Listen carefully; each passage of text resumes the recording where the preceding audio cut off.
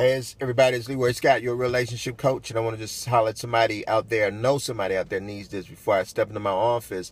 You know, sometimes in life, you got to go through a ton of trash. I mean, a lot of trash to get to your treasure.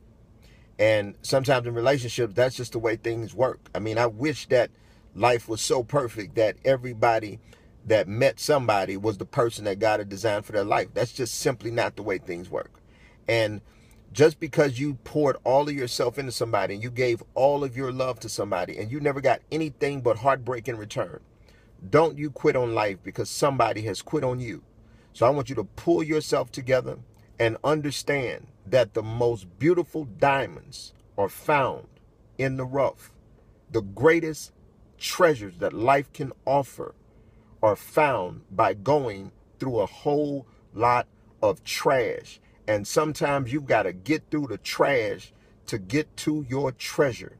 Be encouraged. Don't you quit on yourself. You've come too far to give up now. God's got something for you. Go get it.